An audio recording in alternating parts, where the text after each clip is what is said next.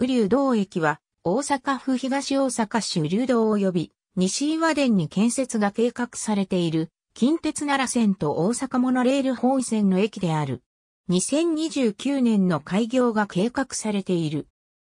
現在大阪空港駅から門真市駅まで開業している大阪モノレール本線は、もともと大阪国際空港から大阪中央環状線に沿って堺仙北臨海工業地帯を結ぶという構想があり、2004年に答申された近畿地方交通審議会答申第8号では、京阪神県において中長期的に望まれる鉄道ネットワークを構成する新たな路線として、門真市から南進して東大阪市で近鉄奈良線と接続する計画が示されていた。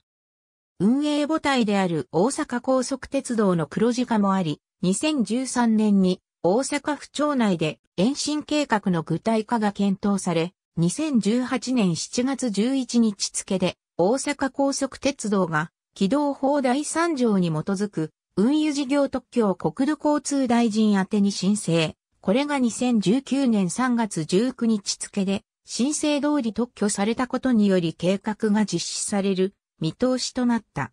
駅設置場所は、近鉄奈良線の和歌岩田駅と八戸の里駅のほぼ中間に位置しており、近鉄奈良線との接続駅も新設される計画となっている。また、大阪モノレールの車両基地も併設される計画となっている。